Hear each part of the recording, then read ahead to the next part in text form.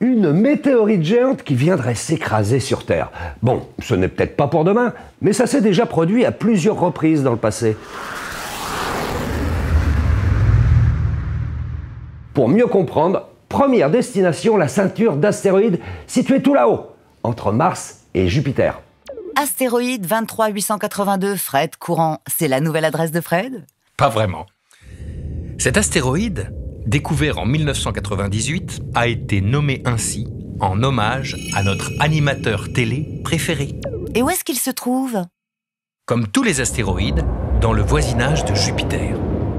Certains astéroïdes se déplacent sur l'orbite de la géante gazeuse avant et après elle. On les appelle les Troyens. Mais la grande majorité se concentre entre Mars et Jupiter dans la ceinture d'astéroïdes. C'est là que nous allons. Accroche-toi bien.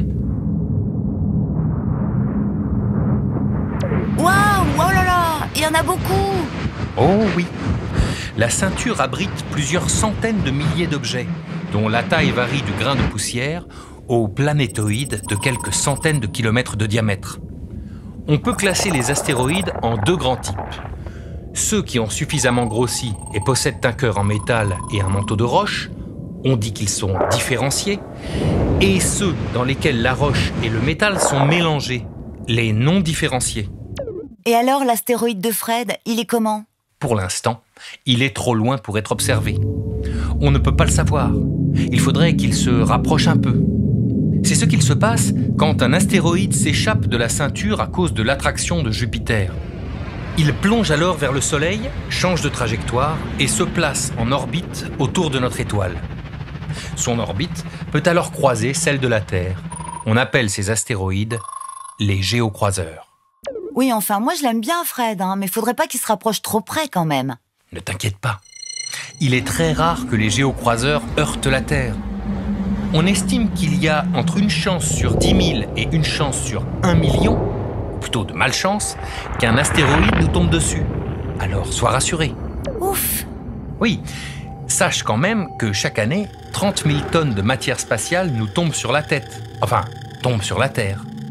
Bah dis donc, 30 000 tonnes, ça fait beaucoup. Et elle vient d'où toute cette matière? Eh bien, il arrive qu'après un choc entre deux astéroïdes, des petits morceaux se détachent et deviennent des météoroïdes. Euh, Je crois que tu t'es trompé. On dit météorite, non? Et non. Tant que ce petit morceau d'astéroïde voyage dans l'espace, il s'appelle météoroïde. C'est seulement s'il tombe sur la Terre qu'il devient alors une météorite. En fonction de leur taille, les météoroïdes peuvent soit brûler en pénétrant dans l'atmosphère, soit se désintégrer en plusieurs morceaux qui vont retomber sur le plancher des vaches. Ce sont les fameuses météorites. Et c'est en les étudiant que les scientifiques en ont appris beaucoup sur les astéroïdes. Et si dans le futur, un astéroïde de grande taille menaçait la Terre? Pour ne pas être pris par surprise, certains projets comme le NIT de la NASA scrutent le ciel.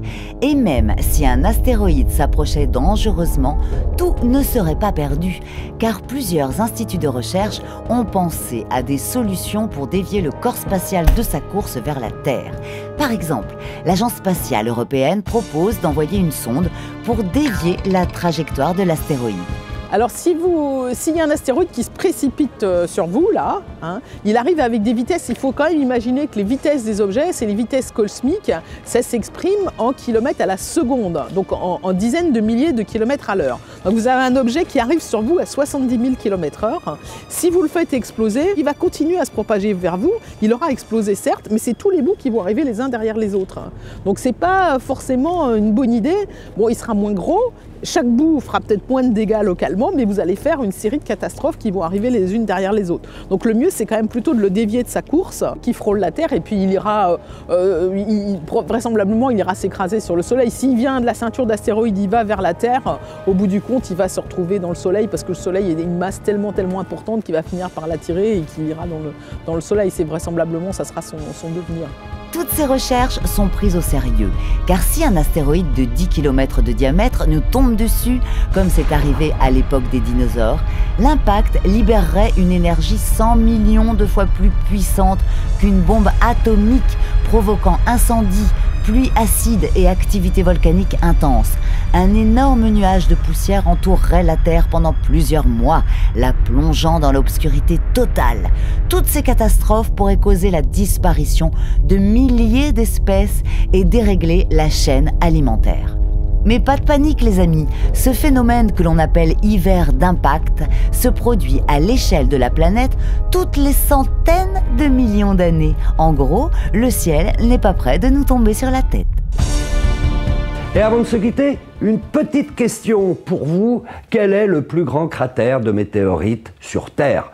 Météor cratère aux États-Unis, Rochechouart en France ou encore Vredefort en Afrique du Sud? Pour répondre, c'est juste en dessous.